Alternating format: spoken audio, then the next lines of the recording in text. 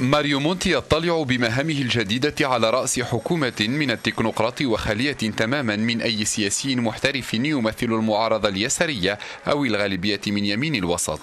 مونتي استلم مهامه من سلفه سيلفيو بيرلسكوني وسيترأس حكومة مصغرة تتكون من 16 وزيرا.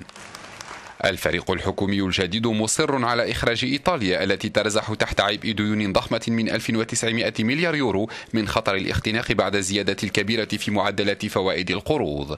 والجديد هو أن مونتي استحدث وزارة للنمو وتضم حقائب التنمية الاقتصادية والبنى التحتية والبيئة وعهد بها إلى كورادو باسيرا رئيس ثاني أكبر بنك في البلاد.